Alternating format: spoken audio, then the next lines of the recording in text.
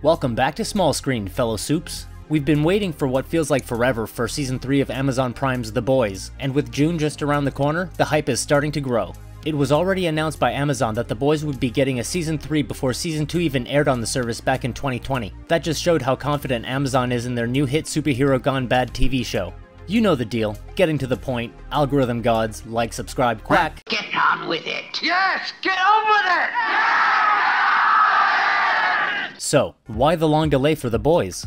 Disney, Lucasfilm, and Marvel Studios have managed to find a way to make sure they can have a safe set. They're filming a lot of their upcoming shows using a new technology which allows them to film everything inside a closed set. This new filming technique is actually an evolution of a technique that's been in use for nearly a century in one form or another. They use special screens which display a live image behind the actors. The screens are so incredibly detailed that it looks like the actor is really in a desert or wherever he or she is supposed to be.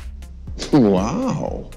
The issue with the boys is that they might not be able to use this new technology. One of the big things about this show is that they try to make everything as practical as possible. It's also filmed in multiple locations, which means that they can't really use this sort of new technology, hence the delay for the boys. Right. In light of production delays and length between seasons, they've produced a hilarious web show spin-off called Vought News Network 7 on 7 with Cameron Coleman. This Fox News parody is hosted by Cameron Coleman who delivers news stories from the world of the boys. According to showrunner Eric Kripke, the purpose of this web show is to bridge the gap between seasons 2 and 3. Here's what he told The Wrap. Since the very start of The Boys, we've seen Vought's propaganda arm, I mean news channel, VNN. We'll be digging deeper into those fair and balanced patriots next season. So as a teaser, we're introducing 7 on 7 with VNN's biggest star, Cameron Coleman. The episodes are in-world canon, serving up brand new information that bridges the story gap between seasons 2 and 3. So enjoy the hot takes and catheter commercials just like your parents do. which is exactly the kind of unapologetic, quality American programming that this newscaster is anxious to see. These webisodes are amazing, free, and available on YouTube.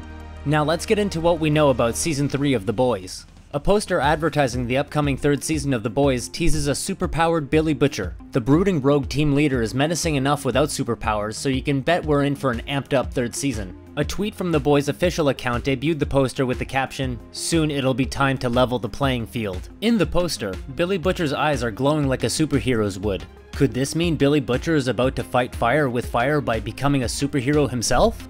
You're goddamn right.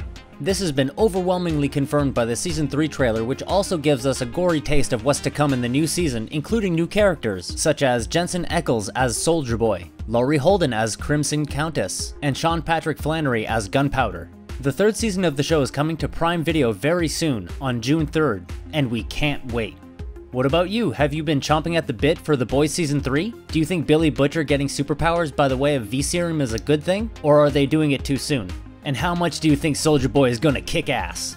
Let us know your thoughts in the comments below. We do read all of them. And as always, please like, subscribe, and crack that notification bell to keep up with all of our news and exclusives. Thanks for watching. See you next time.